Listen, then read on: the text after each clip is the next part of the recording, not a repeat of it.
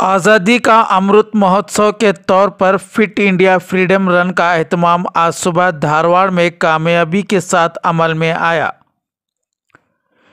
नेहरू युवा केंद्र सरकारी अव्वल दर्जा कॉलेज जिगलू आर्ट्स एंड कॉमर्स महिला कॉलेज और वार्ता और अवामी मौसलाती मरकज़ के जेर अहतमाम आज सुबह मुनद फिट इंडिया रन सरगर्मी को डिप्टी कमिश्नर कंपाउंड में डिप्टी कमिश्नर नितेश पाटिल ने हरी झंडी दिखाकर इसका आगाज़ किया है।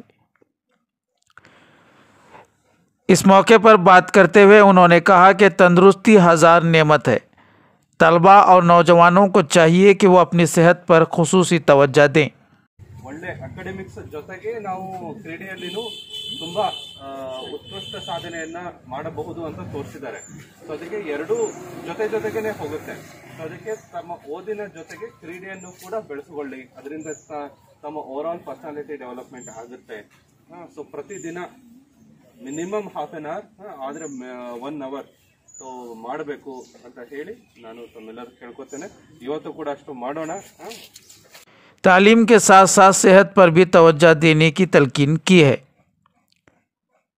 शहर के मुख्तलिफ़ रास्तों से गुजरते हुए इस दौड़ को मुकम्मल किया गया।